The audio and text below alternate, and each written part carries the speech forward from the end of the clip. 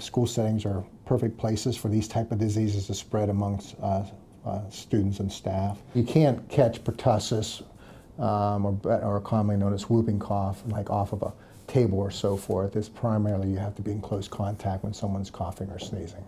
Who has it? Who has it? Thank you. Who's infectious? The school learned of the first confirmed case from the Department of Health May 7th. At which time we immediately notified our parents in the community of the confirmed case and began taking proactive measures to clean and sanitize the entire school, but pay special attention to the specific areas in which the confirmed case had known um, classes and courses. The second confirmed case was reported Tuesday. You know, in Ohio law, like many other states, there are over 100 different types of diseases, communicable diseases, that are required by um, hospitals and physicians and others to report to the local health department. Symptoms are similar to a common cold runny nose, sneezing, mild coughing, low grade fever, and runny eyes. Eventually, um, it will begin to worsen, and, and you'll get this, uh, it'll lead to a cough.